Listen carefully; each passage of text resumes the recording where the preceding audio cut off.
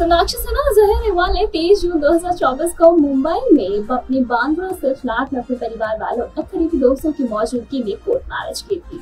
दोनों ने एक दूसरे के साथ सात सालों तक एक दूसरे को डेट किया और उसके बाद शादी के बाद दोनों ने ग्रैंड वेडिंग रिसेप्शन भी आयोजित किया, जिसमें कि सभी बॉलीवुड हस्तियों ने अपनी मौजूदगी दर्ज कराई। बता दें कि उनकी शादी और रिसेप्शन की फ़ोटोज़ और वीडियोज़ ने सोशल मीडिया पर खूब धूम मचाई इसके अलावा सोनाक्षी जहीर ने भी अपने इंस्टाग्राम पर कई सारी शादी की फ़ोटोज़ और वीडियोज़ को भी शेयर किया जिनमें सभी काफ़ी ज़्यादा खुश नज़र शादी और हनीमून के बाद सोनाक्षी अपने काम पर वापस आ चुकी है।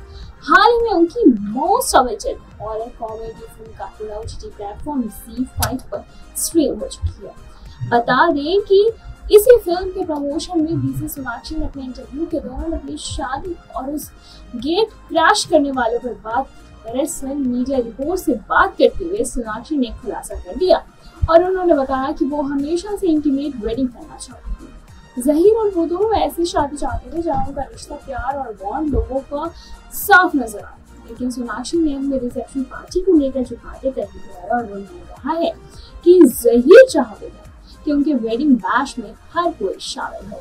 आगे से बताया कि जैसा वो चाहती थी बिल्कुल वैसा ही हुआ? हालाँकि इस बीच सोनाक्षी की शादी अटेंड करने वाले एक्टर सुशांत दिवगीकर ने हाल ही में अपने इंस्टाग्राम पर एक हैरान कर देने वाला खुलासा किया। अब बताया कि सोनाक्षी जहीर की वेडिंग फ़ंक्शन में कई लोग ज़बरदस्ती घुस आए थे जो कि बिन बुलाए मेहमान थे। इसके बारे में बात करते हुए सोनाक्षी ने कहा, शादी के वेडिंग क्रैशर थे, लेकिन मैं एंजॉय करने में बिज़ी था और मुझे खुशी है कि सबने एंजॉय किया।